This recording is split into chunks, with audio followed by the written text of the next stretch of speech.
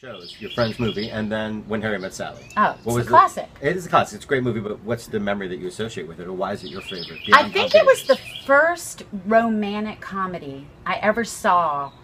Um, and it's kind of started that boom of romantic comedies. You know, the Sleepless in Seattle, the You've Got Mail, the Nora Ephron, Nora Ephron, Nora Ephron, Nora Ephron, Nora- right. And so I chose that movie because Nora Ephron was such a inspiration to me Mm-hmm. um, in this character. There is a great essay she wrote, and it is in her book. I feel bad about my neck, which is I'm such sit up now a and get my neck- fantastic. I know. Yeah. I should wear a I'm scarf. shooting from above. Don't I worry. should wear a scarf. and she writes in there about it's one of her essays about her biggest flop. And I thought Which movie is that? Um, it, it was one that never, was never made. Oh. It was a play she wrote that never that they tried to make and it flopped, and I don't remember the name.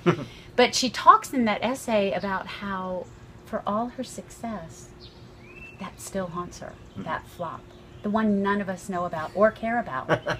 and I thought more and more about how somebody with that kind of success could have had this big a flop that haunted her, and that spurred the character of, of Blake Hunter.